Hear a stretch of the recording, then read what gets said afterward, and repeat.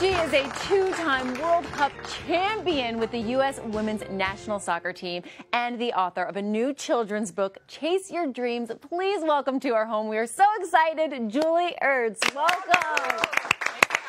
Oh, today's an epic day. I know. We're all walking around with the biggest smiles on our face. It is such an honor. The whole week. I can't. Like my cheeks hurt. I can only imagine. So you guys just won. It was just over a week ago. The World Cup. How like how did that feel? How are you feeling?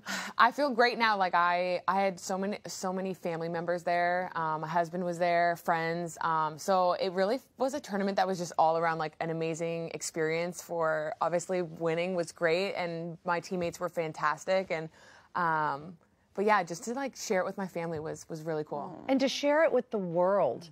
I mean, you are a global hero. And, and right now, in this time, the women's U.S. soccer team to win the World Cup just seems like such an epic moment for all of us.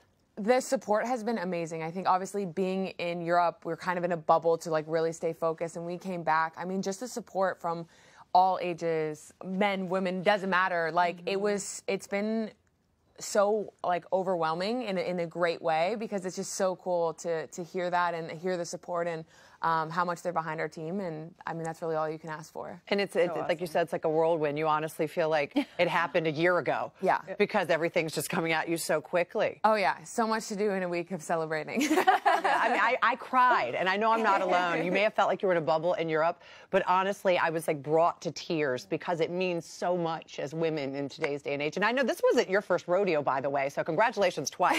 because you. in 2015, when you were just 23 years old, you were just a baby, and you were also starting for the U.S. national team, and you won the World Cup then too. What did? How is it different from 2015 versus today? Um, perspective for sure. I mean, obviously having it my first World Cup, I was like, this is great. Like 2015, I love it. Like you just go to the final your first time, and like, and I think like as you get older, you face more adversity in your career, um, and you become more grateful for being able to do a job that you love.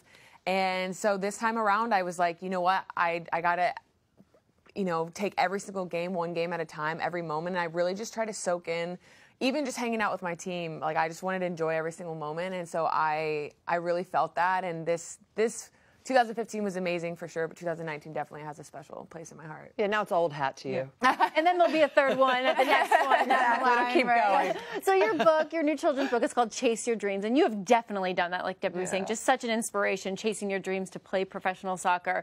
Um, but you learned some really valuable lessons along the way, and one of them is you gotta you gotta step outside of that comfort zone. Oh yeah, I think, and I, I go back way in, and, and the cool thing about one I never dreamed about even writing a book. So to have this end right after this whole week has just been really surreal.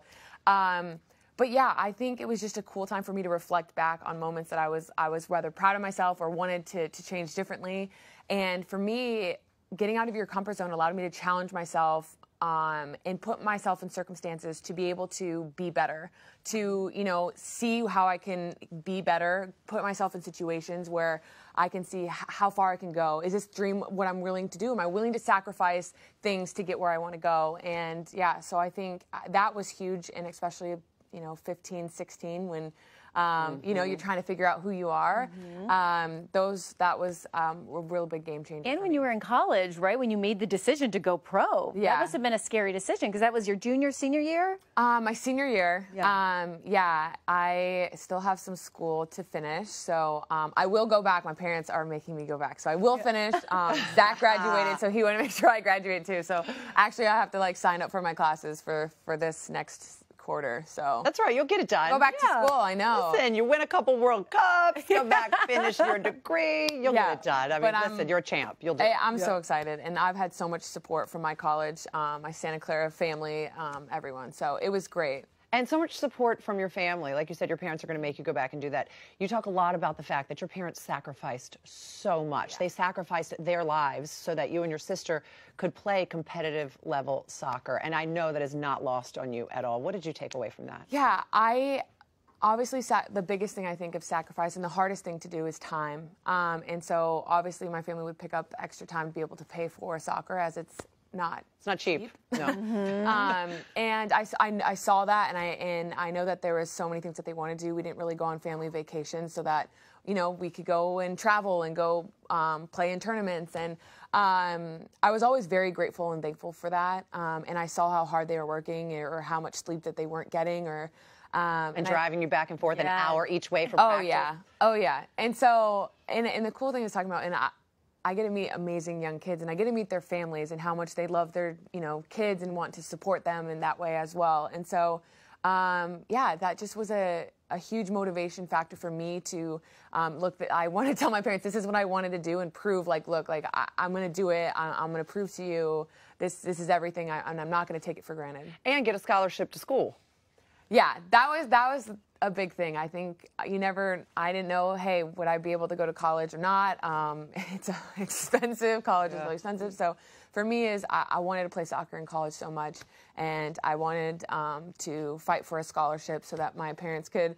Um, you know, start saving money rather than spending money. Yeah. So, um, yeah, I'm obviously very grateful as well Yeah. for that. And speaking of family, you and your husband Zach, who plays for the Philadelphia Eagles in the NFL, um, you want you started a foundation, the Ertz Family uh, Foundation. Um, why was it so important to you to give back? Um, yeah, I know. I just came from. We had our uh, our golf tournament last night, which was uh, so fun. Oh, yeah. so you're good at golf nice. too? Uh, no, I'm not good at golf but- at all. Um, but I'm working on it. So any pointers or tips, very much welcome. Um, but I still enjoy being out there, and it was awesome. We had amazing support. But yeah, I think um, through our careers, um, you know, Zach and I started dating in college, so kind of to have our careers together has been really cool. That's so And we've cool. always wanted to start a foundation in order to give back. And I think as our careers gone on and, and we've had some um, awesome successes together, um, we just kind of kind of realized the platform that, that we had and to be able to impact and of course kids um, are, I mean it's the next generation and it's just uh, it's so amazing to be able to talk to them as you know they're dreaming now which is where I w- all of us were at some point. Um, so it basically we just raise money to give sports and education opportunities back to them and um, we're based in Philly and in um, the Bay Area. And we do work in Haiti as well as Zach went on a mission trip and totally changed our lives of um, how it, it really just an eye-opening experience um, for him and yeah so it's it's just been exciting it's totally challenges me in a different way um, off the field and uh, it's super rewarding I mean, what a great power couple the two of you are. I know. I mean, honestly, a married couple, one's an NFL star and the other one's a soccer star. And you met in college, and like it's so cool to yeah see. it's it's a blessing and um, yeah i i'm pinch myself I mean, your children are going to be very athletic. I'll give you that. I know. It was so fun having you Yeah, here. thank you oh so much. so much for awesome. everything. Thank Thank you you so for everything. much. Thank you for being such an inspiration and a mm-hmm. hero to women, young girls, to everyone everywhere. you. Thank you, uh, U.S. American Soccer Team, for winning that World Cup. I love it. hope I you feel like keep- we all won. I know, and hope you keep celebrating or get some rest, whatever, oh. whatever your next plan. I'll take sleep. Yeah, take both. All right, Chase Your Dreams is available now wherever books are sold, and be sure to follow Julie on her social media. I know I am.